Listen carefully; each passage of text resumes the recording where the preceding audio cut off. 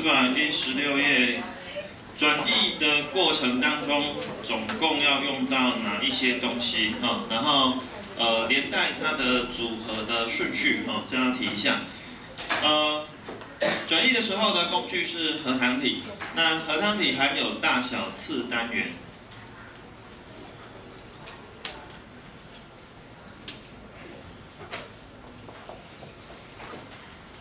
OK，不管是大的小的次单元，它的化学的组成都是蛋白质跟 RNA。然后，好，那可是组合的顺序是这样子，就是小次单元，小颗的那颗，它会先去跟 mRNA 结合在一起。那这个步骤，呃，在当步骤一好了啊。如果这个步骤一的话，步骤一，那个 mRNA 加上小四单元，这个部分它是在细胞核里面就已经搞定了。然后就这个呃 mRNA，然后呃上身上挂着一个小颗粒，然后再从那个核孔啊核孔那个地方被运输出来。所以其实你从这个观点去看呢。核孔不是一个很简单的运输构造，因为哦，mRNA 的长度哈，你就算随便一个基因，你起码应该有二三十个密码，二三十个密码，你换算下来的话，用三十个来算，你起码也要九十个核苷酸，对不对？啊，然后再加上头头的那段，加上尾巴的那段，啊，这个绝对是一个大分子。那你现在再挂上一个蛋白质跟 RNA，这个分子量其实应该蛮夸张的，啊，这个绝对不是一般的运输蛋白做得到的。好，那组合的顺序是这样子，那所以从这个地方也可以看出一件事情，原来那个大小次单元它并不需要时时刻刻啊都都挂在一起，啊，核糖体其实只有在工作的时候啊，它的大小次单元才会组合在一起，那大的次单元要等啊，就是等到这整个拖到那个细胞质当中的时候，然后。接下来大的次单元才会进来，可是，在大的次单元进来之前，就是那个前一页四百一十五页的地方那个 tRNA，tRNA 当中呢的第一个会用到的会先进来。那我们上次讲说 tRNA 不是总共身上有三个圈圈吗？哎，这上我印象中上讲的哦，tRNA 分子的特性嘛，哈。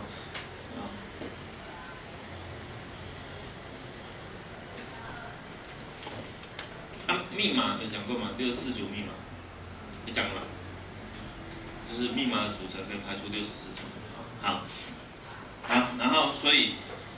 呃，接下来在大的次单元进来之前呢，会有一个基因转录的时候，mRNA 转，对对不起，mRNA 转译的过程当中，永远是第一个进来的 tRNA。那这个第一个 tRNA 呢，它身上挂的氨基酸。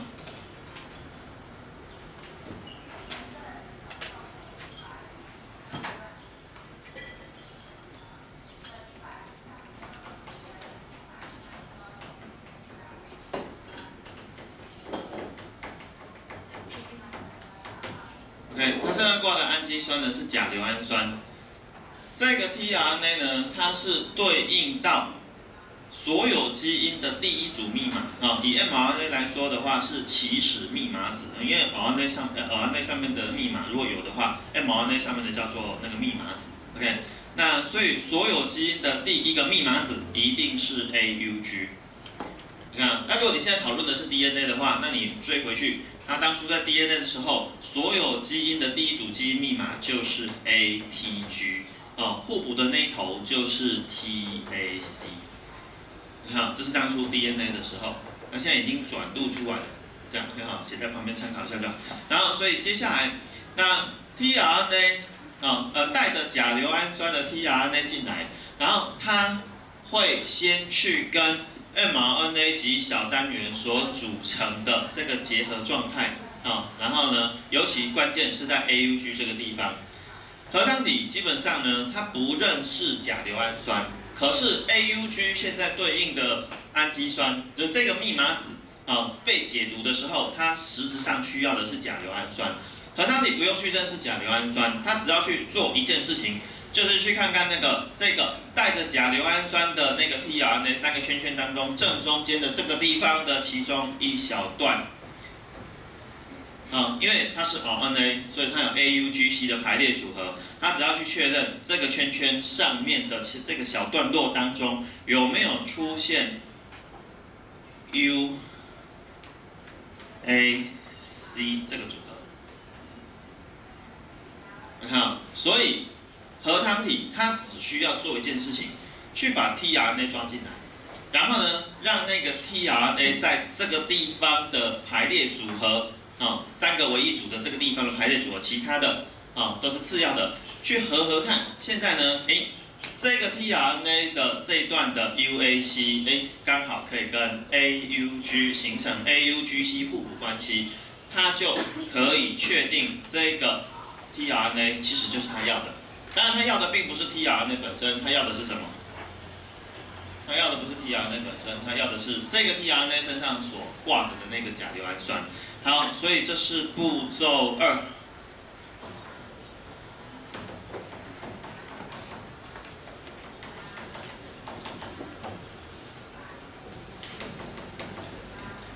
好，可是因为第一个 tRNA 比较特别，它会早在。大四单元进来之前，他就先先呃站好位置。那他站的位置是什么？上次也提到，核糖体身上呢，组合完成之后，总共提供三个座位。这三个座位你一定要照顺序背啊。那个 tRNA 离开的位置呢，叫做一位。然后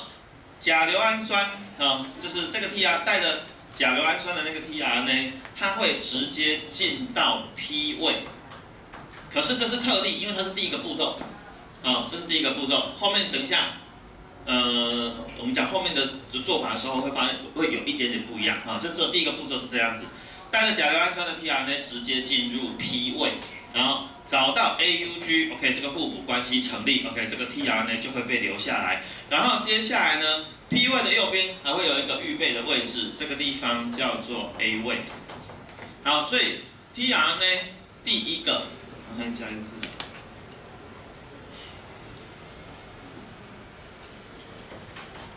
甲硫氨酸的 tRNA 啊，甲硫氨酸的英文我缩缩写一下啊。甲硫氨酸的 tRNA 会结合在，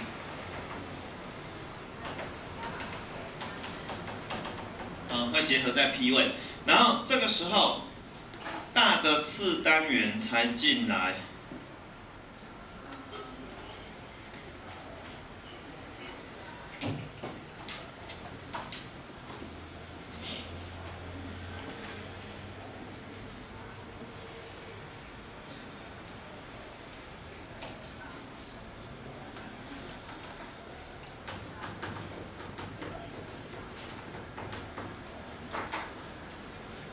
呃，这已经来到第三个步骤。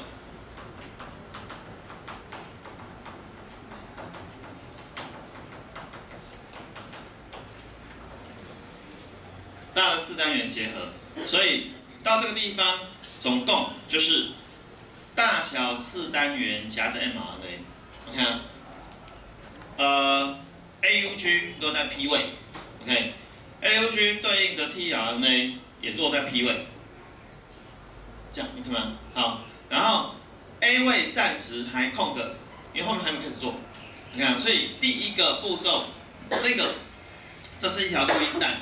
OK，那你放到那个那个卡座里面，然后按下 Play 键的时候，它那个从第一个啊，第一个这首歌最前面的那个那一段的一开始的时候，只有这个地方是特别处理啊，所以第一次进到 P 位啊，这个步骤特别处理，后面的等下它可以反复用相同的做法做，你看，所以到这地方啊，应该就马上可以看到核糖体大小次单元必须夹着 mRNA，OK 吗？然后接下来需要 tRNA 的配合。tRNA 可以帮忙带来正确的氨基酸。核糖体，你从这个架构来看的话，核糖体其实它并不是直接去辨认啊那个氨基酸，其实它是在做一件事情，它只要去确认一下细胞质当中啊，因为呃氨基酸的二十种啊，那所以不同的 tRNA 可以携带不同的氨基酸。那什么叫做不同的那个 tRNA 呢？tRNA 大致上都长这个样子，号称叫木塑型。而它的三个圈圈中间这个圈圈的其中一个小段落这个地方，它会有一个反密码子。所以核糖体它真正在做的工作是，它去把反密码子跟 DNA 上面的密码子去互补看看。看有没有达成 AUGC 的互补原则？如果有，它就可以确认说，哎，那现在这个 tRNA 就是它当下正需要的 tRNA。但最后它会用到的并不是 tRNA 本身，它最后留下来用的只有这个 tRNA 所期待的甲硫氨酸。OK，起始步骤啊，这第一个步骤会比较麻烦一点。这边 OK 哈，好。那因为地球上的生物密码的原则都是三个核苷酸为一组密码，DNA 那个地方一般习惯就直接叫基因密码啊，然后到了转录完成之后，mRNA 上面的密码一组一组，它是 copy 自那个基因的内容的，那我们这时候改换一个称呼啊，叫密码子，你看哈，然后。核糖体用来确认那个 tRNA 跟密码子互补关系的那一组密码，也就是 tRNA 唯一有带的一组密码，只有这组密码，它没有基因，它只有这组密码，就叫做反密码子啊。所以跟遗传讯息有关的，总共也不过就是这三个层次：DNA 的基因密码、mRNA 的密码子、tRNA 的反密码子啊。然后其实两两互补关系这个部分哦，要稍微留意一下。好，所以。第一个步骤，因为它状况特殊，所以用这个方式处理。那第二个以后的步骤大概会是像什么样子呢？现在呢，AUG 核糖体假设已经开始远离 AUG 了，好，所以你现在往下看那个步骤，它把它画成一个循环，就是它是一个反复的动作而已。好，现在呢，假设，呃，写上去一位，P 位，然后 A 位。对不对？核糖体内总共提供三个座位，三个座位总共可以容纳三组密码子。你看哈，然后通常落在 P 位的这个，它要负责一件事情，它要把它之前已经拿到手的氨基酸。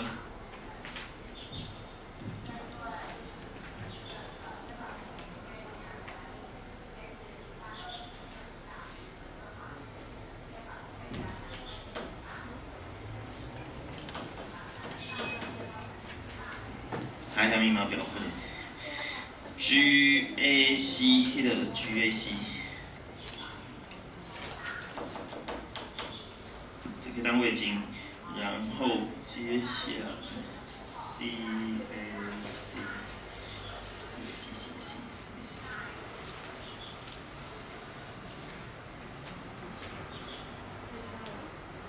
C。哎，张仔，C C 不见，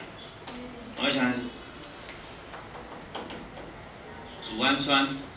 然后 U U U U U，记得 U U U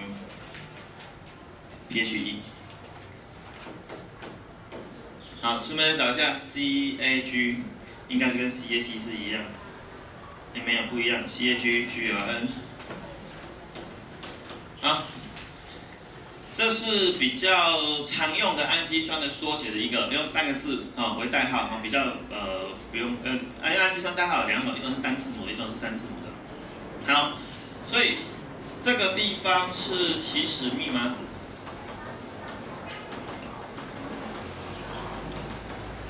好，所以第一个步骤，那个 AUG 这个地方特殊处理之后呢？之后的状况，从第二个以后开始都是这样子。好，现在呢有个 tRNA 正落在 P 位，好，然后以现在来说就是 PHE 这个氨基酸，那它要负责一件事情，它暂时得抓住之前已经串起来的氨基酸。你看，所以这就是 P 位，好，P 位的那个 tRNA 要做的事情。那 A 位呢，你可以把它当做是一个预备的位置。现在呢？U U U 的这组密码子的下一个密码子是 C A G，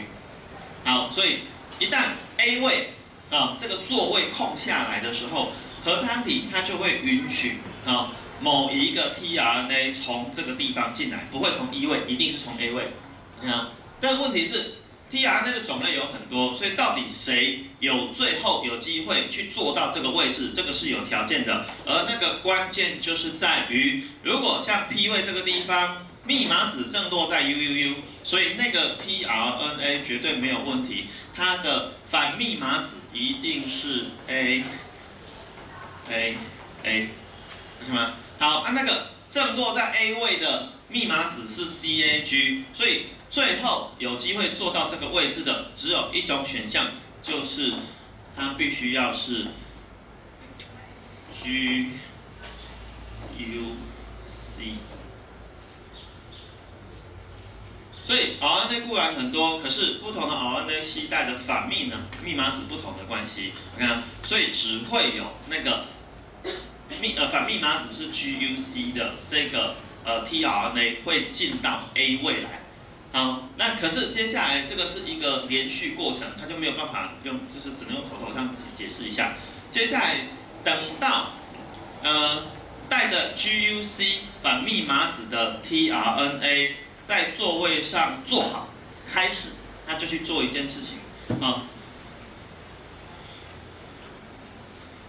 呃 P 位上面的这个 tRNA 的 pH 就准备开始。去跟已经在 A 位做好的，就是已经摆好的那个 tRNA，它所带的 GLN 准备形成那个 CONH 那个共共价键的结合，还记得氨基酸之间结合吧？在旁边这个，那个不是有一个那个羧基下一个氨基酸的。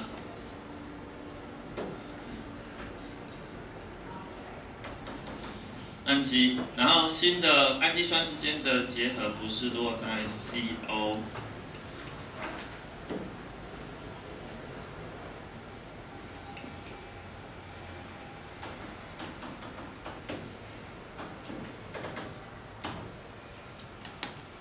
个地方，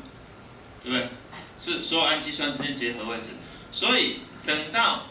落在 A 位的 tRNA 就定位之后，它就开始做这件事情啊，就是让 GLN 要准备往前挂在 pH 一的羧基这个地方。还记得顺序了哈？氨基酸结合有顺序的哦。习惯上这个通常左边我们会摆比较前面的啊，氨即将进来的会往右边摆，所以它的顺序是从呃氨基这头往羧基这头延伸过去。好，然后所以回回到这个地方，所以他后来所做的事情就是，OK，摆好 G O N，准备跟 pH 一形成共价键的结合，OK 哈，所以他后来会在这个两个，一个在 P 位，一个在 A 位，他会在两个都做好的时候完成这个地方。我现在是用虚线，可是它最后会真正形成共价键，OK 吗？一旦 PHE 跟 GLN，你现在往下看第二个步骤，在四百一十六页那个绕圈圈循环式的反应里面，你先往右边看，右边呢就代表 A 位的 tRNA 已经摆放好了。摆放好之后呢，P 位好 P 位的氨基酸它的羧基这头就准备去跟 A 位啊 A 位的 tRNA 的氨基这个地方形成共价键的结合。好，所以你现在再往下看，它这步骤跳的比较快一点，四百一十六页的正下方的这个步骤，一旦 PHE 跟 GLN 已经结合完成之后，PHE 这个时候它会顺便切割跟谁的关系？因为你现在 G PHE 跟 GLN 已经结合好了，那所以 PHE 自然就不再需要跟谁结合，它就不用再挂继续挂在 TRN 上面的，好吗？好，所以暂时暂时你会看到，哎，整个多肽链。啊，整个多肽链暂时换谁接手？由落在 A 位的那个 tRNA 暂时抓住。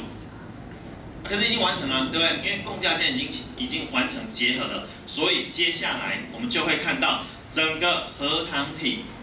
顺势再往下移动一组密码。它每次移动就是一组密码的距离。那你现在，我们。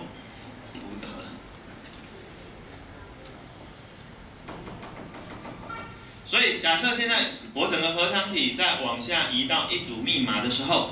，OK，新进到 A 位的是哪一个密码子？是不是就就会是 AAA？然后刚刚那个 CAG 在核糖体移动的时候，CAG 是不是就顺势进入到 P 位？所以 CAG 所对应的那个 TRN 是不是也进入那个 P 位？所以是不是又是哎，没错啊，一样，就是最终我们所看到的时候仍然是。P 位的那个 tRNA 抓着多肽链，但事实上它早在前面的时候已经先完成多肽链的结合，OK 哈，啊那每次移动的时候啊，就是 P 位的 tRNA 会先暂时帮忙抓着一下。啊，那等等谁进来？等那个 A 位的 tRNA 就定位，A 位的氨基酸跟 P 位所带着抓着的那个最后的一个氨基酸，又开始准备这个肽键结合，所以等到结合关系成立的时候，那个 P 位的 tR 呃 P 位的那个氨基酸又会跟它切割关系。你看哈，所以什么时候氨基酸呃 P 位的氨基酸跟 tRNA 会切割关系，就是等到 PA 的氨基酸确认结合完成，因为现在反正有人抓住了，就没有什么脱钩的问题了。这样 OK 吗？好，那回过头去交代一个，那像现在这个情况，带有 AAA 这个 tRNA 在核糖体移动的时候，OK，所以现在那个呃 UUU 是不是即将进入 P 呃一位？对吧？哈，所以这个时候也是一样，那 UUU 对应的这个 tRNA 是不是要移到一位这个地方？OK，一位的动作很简单，它有一点像是一个脱离的装置。任何不带着氨基酸的 tRNA，一旦进到这个座位之后，直接跳跳开，它是一个提供 tRNA 跳出去的一个位置而已，所以并没有什么特别比较重要的功能哦。所以那个一基本上那个英文字就 exit，就是离开的那个意思而已。OK 哈，所以总共三个座位，实际上实质有参与呃多肽链的合成的，只用到 P 位跟 A 位啊。那一位是提供那个空的 tRNA 离开的位置。那 tRNA 还有一个好处，它离开之后，虽然它暂时手上没有氨基酸，可是它之后可以在细胞质里面透过酵素的帮忙，会帮它再度挂上那个正确的氨基酸，那这样就可以资源回收了。你看，所以这样的一个反复进行过程当中，只有第一个步骤，因为它有组合顺序的问题啊，就是你看。它是小次单元先跟 mRNA 结合，tRNA 进来，大的次单元才进来，之后就是一直反复做这样的事情，移动哦，然后新的密码子进入 A 位啊，刚刚的 A 位的进入 P 位啊，啊，所以 A 位那个呢是即将有一个新的 tRNA 进来，然后那个多肽链产生，对不对？啊，然后进入 E 位的 tRNA 跳开，然后继续往后做，一直做到什么时候？核糖体当初，哎，夹起来的地方。AUG 起始密码子直接进入 P 位，OK 啊？那这个关系什么时候解体啊？啊，整个翻译的工作它就会一直持续进行到遇到三个终止密码子之一啊，整个结合组合的状态它就会解体。解体之后就代表我现在整个的转译工作宣告结束。OK 啊，所以什么时候当这个这三个密码呃密码子之一啊，那进入到 A 位的时候，就差不多即将结束，就是 U A A U A G 或 U G A，这个是终止密码子，三三选一就好，不用全部出现。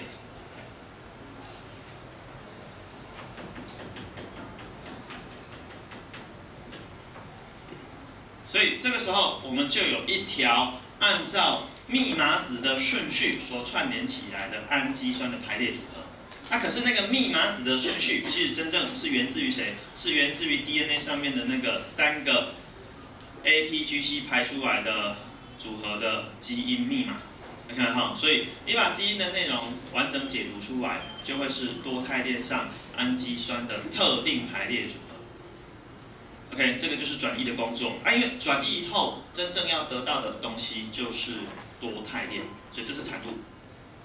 ，OK 吗？好，所以你再回过头去看核糖体这个工具，其实它做的事其实真的很呆板，哦，它一直在反复做一件事情，确认 tRNA 的反密码子跟 mRNA 的密码子的互补关系，对不对？然后呢，将氨基酸结合，它就一直在反复做这样的动作。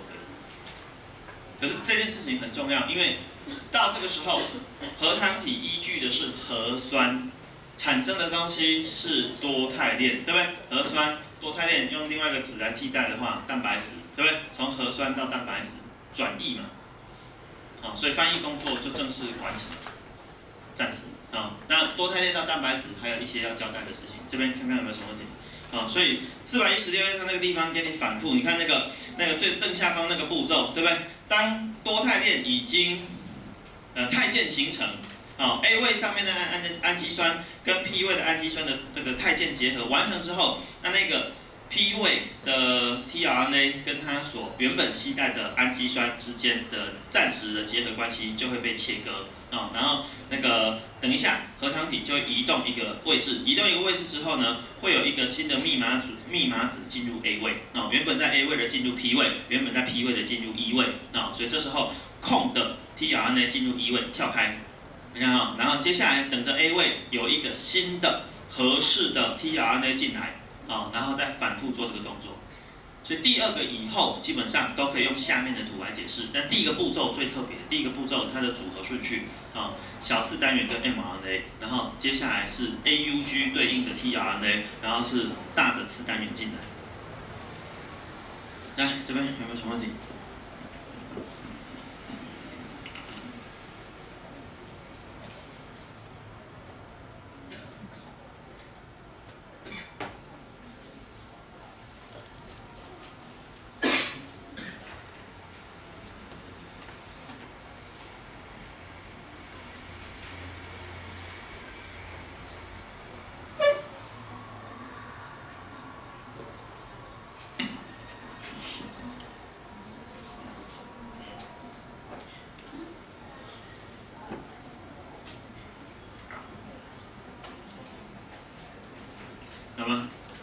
所以那些需要背的啊，比如说那个转录的时候啊，那个加头加尾啊，头加 GTP 尾加多线标零的这个部分，密码的结构里面，比如说其实可以组出六十四组，啊为什么只用了六十一组啊？因为有三组当终止密码，终止密码没有对应到氨基酸，可是其实密码有顺便拿来对应到甲硫氨酸，那所以那个甲硫氨酸当然一定要背。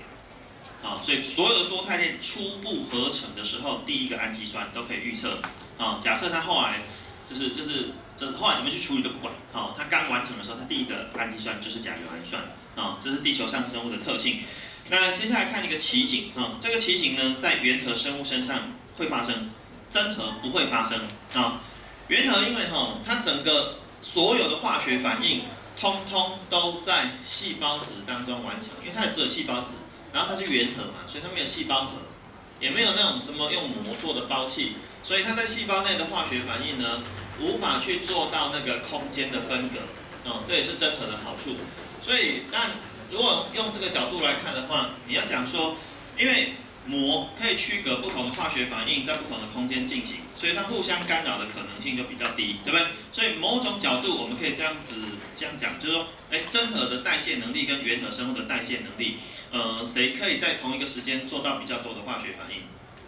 大致上来讲还是真核，嗯，因为你空间区隔好了，哦，所以化学反应互相干扰的可能性不高。可是有时候哈，你会发现那个空间很精简，啊，其实也有一些优势在，那。四百一十七页的下面这个图啊，这是一个电子显微镜底下抓到的图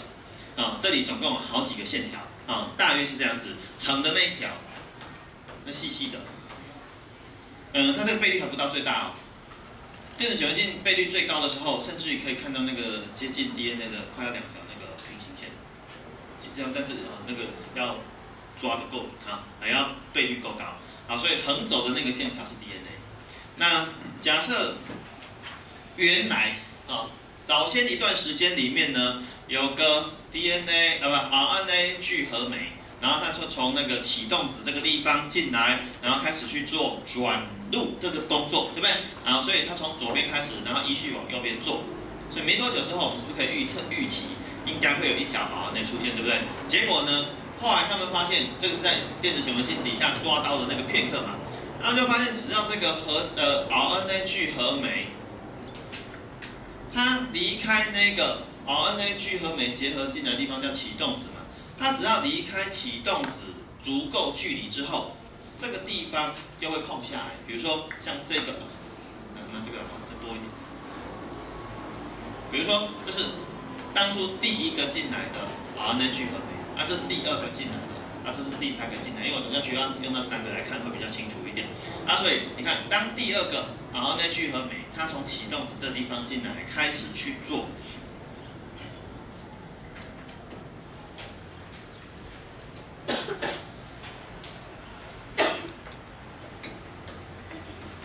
转录的工作，所以它是不是在形成那个 mRNA？哎，可是前面空下来，对不对？所以前面空下来的时候呢，那个它就允许原特生物。它会允许一个新的 RNA 聚合酶也进来，然后准备开始去做转录的工工作。好，就同一个时间，呃，几乎同一个时间，现在就有两条 mRNA。结果你要往后看，发现其实早就还有最早的进来的那个 RNA 聚合酶，它做的更长。所以它等于是这一个地方。是某一个基因的段落，所以在第一条，在第一条 mRNA 都还没有做好。你看，它紧接着，反正我这个地方空空位是空着的，它可以允许啊，虽然有一点时间差，但是几乎在第一个 mRNA 都还没有完成之前，还有很多条 mRNA 可以一起做。你看，所以这样一个好处就是说，在一定的时间范围里面，你看 DNA 上面的基因只有一份。可是如果我能够把握时间，在一个相对的时间范围内，同时得到很多条 mRNA，它就可以做到一件事情，叫倍增。我把一份基因是你的原版 CD 只有一份，对不对？啊，为了让大家可以分享啊，所以就本本本来本来是自己方便，所以就 copy 了一份，对不对？后来发现可以分享，所以就 copy 了很多份，类似这样子。所以现在手上就有很多 copy 了。你看哈，所以我在同一个时间里面复制 CD 也要时间哈，所以它现在只有一个时间差，所以可以啊，可以有不等长度的 mRNA。可是这些不等长度的 mRNA 里面的内容其实是一样，只是因为发生的啊开始做的那个时间啊的开始。哦，有一点差距，所以长度上会有一点差距。好，这还不打紧，结果我们发现呢，原头生物还可以做到这样子。这里用这条好了，比较好画。现在呢，MR 呢都还没有转录完成，核糖体就进来了。你看，核糖体就找到的 AUG 起始密码子，然后准备开始做，没颜色，用红色。啊，他就开始去做，这是前面短一点，那就开始去做转译的工作。然后呢，相同的状况是，那个前一个核糖体前脚才刚离开，这边 AUG 所留下来的空位那个地方又空下来了，它就允许下一个核糖体就进来了，因为它没有这个问题。在细胞核里面先半组合，然后到细胞质当中完成全部组合，然后开始工作。它只有细胞质，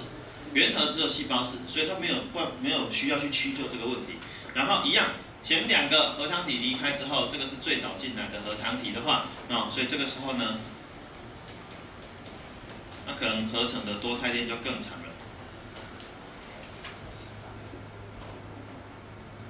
所以同一个时间。总共有几个东西挂在一起？DNA 还在转录产生 mRNA，哎，转录还没有完成，mRNA 还是半成品，核糖体进来了，然后开始去做转译的工作，对不对？核糖体进来之后呢，只要核糖体一离开前面的那个段落，就是 AUG 附近那个段落一离开之后，新的一个核糖体又进来组合，然后又开始继续做转译，看，所以那个还没有完成的 mRNA 又可以再挂着很多个核糖体。OK 啊，所以后来他们就把这个现象，就是你 DNA 上面，你看那个图就很，这这这张图真的抓的还蛮精彩的，对不对？一条 M mRNA 上面有很多正在合成的 mRNA 啊，所以一条 DNA 挂着很多条 mRNA，而每一条 mRNA 呢，又有结合很多个呃 RNA 还没有完成哦，这些未完成、未完全合成的 mRNA 又可以挂了很多颗核糖体，然后每一颗核糖体身上呢，留有不同长度的多肽链，你看，所以后来他们就把这个现象。就有点像聚合物在聚合一样，所以就把它叫做聚合糖体现象。那因为这个奇景哦，真的是只有原核做得到，真核不行。哦，真核的话，转录在哪里做？因为转录一定要在要在细胞核里面完成，那转译一定要在哪里做？因为真核的核糖体就只放在细胞质当中，所以它的转译一定要到了细胞质才有办法做。所以真的就永远都做不到这件事情，就是你看到三种，啊，就是转入转转移，所有东西全部都挂在同一同一个身上，啊，这种性事情基本上真的不会发生。所以聚合上的现象是原核的独特的特性，啊。